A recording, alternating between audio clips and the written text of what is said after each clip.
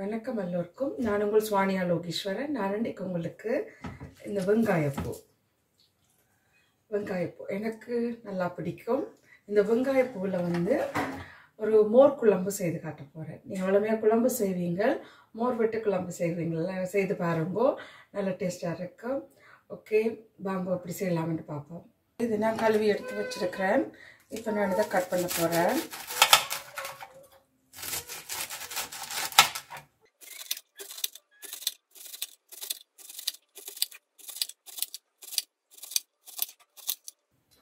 பாருங்க நான் இந்த துண்டு எல்லாம் கட் பண்ணி எடுத்துருக்கிறேன்.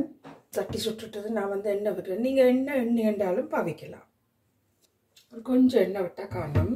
எண்ணெய் கொதிச்சு வந்துட்டுது. நான் இப்போ கடுகு போட போகிறேன் கடுகு வெடிச்சு வர வேணும். அதோட நான் சீரகமும் போட போகிறேன் பெருஞ்சீரகம். இதுவும் வந்து வெடிச்சு வர வேணும். ஓகே இது வெடிச்சு வருது. உள்ளி உள்ளி போட போட போகிறேன் வெங்காயம்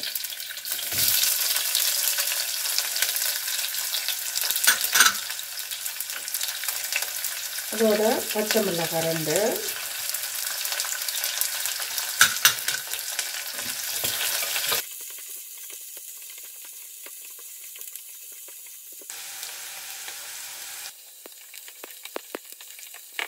ஓகே வெங்காயம் இப்படி வதங்கி வர இருக்குல்ல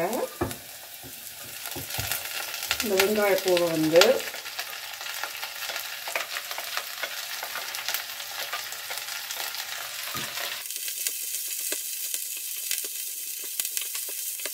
இந்த வதங்கி வரையத்தில் வந்து கொஞ்சம் உப்பு போட்டிங்கன்னா டக்கண்டு வதங்கில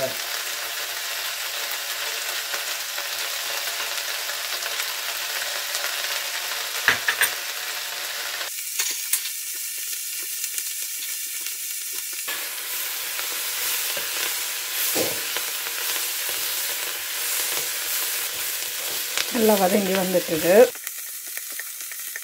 இப்போ இதுக்குள்ள வந்து மிளகாத்தூள் போட போகிறேன்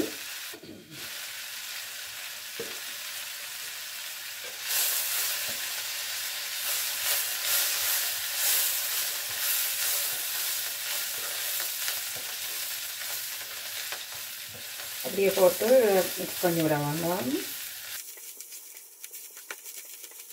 இப்போ வந்து நான் இதுக்குள்ள இந்த மோர் வந்து விட போகிறேன் நான் ஒரு கப் மோர் எடுத்துருக்கிறேன்.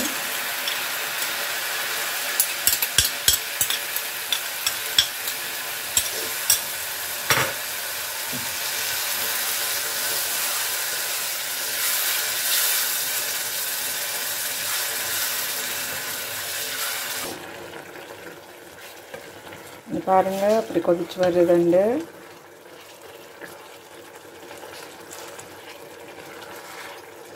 இது மோர் விட்டா பிறகு கன நேரம் கொதிக்க விட தேவையில்லை. அப்படியே நிப்பாட்டி விடலாம். மோர் கன நேரம் கொதிக்க தேவையில்லை.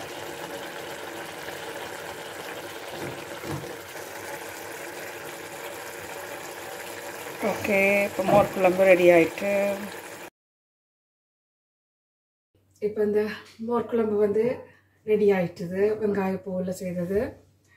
பாருங்கோ நல்லா இருக்குது நல்ல கலர் வந்துருக்குது நல்ல டேஸ்டாகவும் இருக்கும். இந்த கொஞ்சம் புளிப்பு தன்மையோட நல்ல டேஸ்ட்டாக இருக்கும்.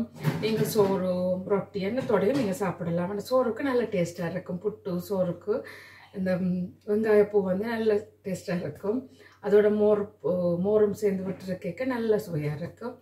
ஓகே செய்து பாருங்கோ. அப்படி இருக்குன்னு சொல்லி சொல்லுங்கோ. நன்றி.